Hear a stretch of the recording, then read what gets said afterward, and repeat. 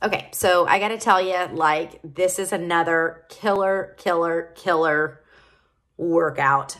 Thoroughly enjoyed this one.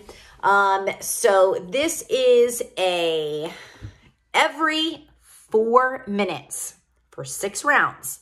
So this is a 24 minute workout. On three, two, one, go.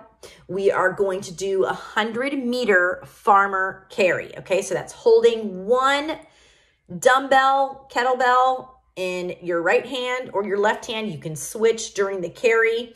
Um, so if we're not sure what 100 meters is, then we're just going to walk out for 20 seconds holding the weight and then walk back for 20 seconds holding the weight. Okay, roughly taking you around 40 seconds. All right, then we are going to hold our dumbbell with whatever hand and we're going to do 10 dumbbell step overs. So how I or dumbbell step ups. So how I was doing this was I was after I came in from the farmer carry I held I was I had it in whatever hand, okay? And whatever hand I had it in, I switched because this hand was getting tired because I was holding it in that hand.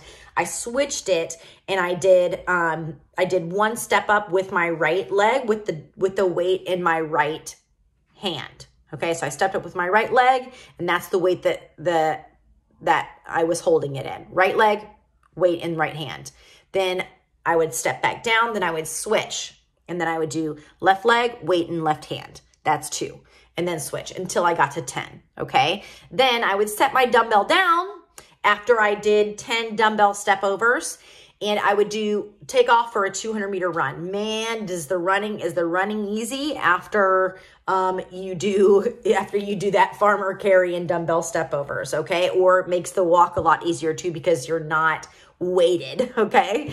Um, so it, again, if we're not familiar with a 200 meter run is, you can run out for 30 seconds and run back for 30 seconds, and that equals to about um, a 200 meter run. Okay.